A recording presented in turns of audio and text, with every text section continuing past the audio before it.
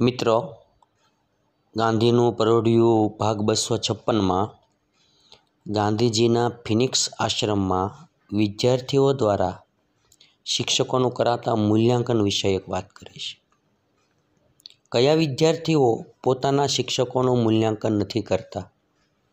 એક દિવસ ફિનિક્સના વિદ્યાર્થીઓ પોતાના શિક્ષકોની ભણાવવાની રીત અને આવડત વિશે આપસમાં ચોવટ કરતા હતા. એમાંના એક જણે છગનભાઈ, છગનલાલભાઈની શીખવાની રીત વિશે અસંતોષ વ્યક્ત કર્યો. ગણિત બાપુ જ ભણાવે તો સારું. છગનભાઈને સમજાવતા નથી આવડતું. બાપુજીએ અઘરામાં અઘરા દાખલા શીખવતા પણ સારું આવડે. મૂળ વાતને છગનલાલના દીકરા પ્રભુદાસ સહિત સૌનો ટેકો હતો.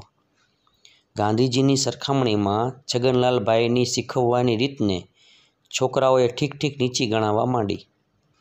છોકરાઓ જાણતા નહોતા કે ગાંધીજી બારણા બહાર ઊભા રહીને બધું સાંભળતા હતા. બે ચાર મિનિટ પછી ધીમેથી છોકરાઓ સામે આવ્યા. ભણાવવાની વાત તો બાજુ રહી, ગાંધીજીએ છોકરાઓને ખખડાવી જ નાખ્યા.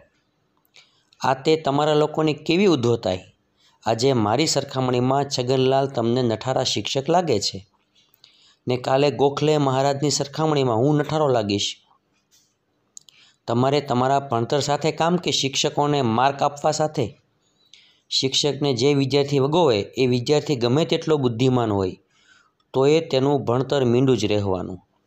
શિક્ષક ગમે તેટલું આપે, પણ અક્કડ વિદ્યાર્થી કંઈ જ નથી ઝીલી શકવાનો. અને શિક્ષક જરા કમથું આપી શકે, તો પણ જો વિદ્યાર્થીમાં નમ્રતા હશે, તો એ થોડાને ઘણું કરીને ઝીલશે અને તેજસ્વી વિદ્યાર્થી બનશે.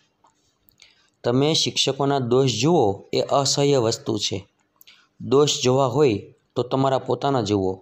ગણિતના શિક્ષક છગનલાલ જ રહેશે. અસ્તુ.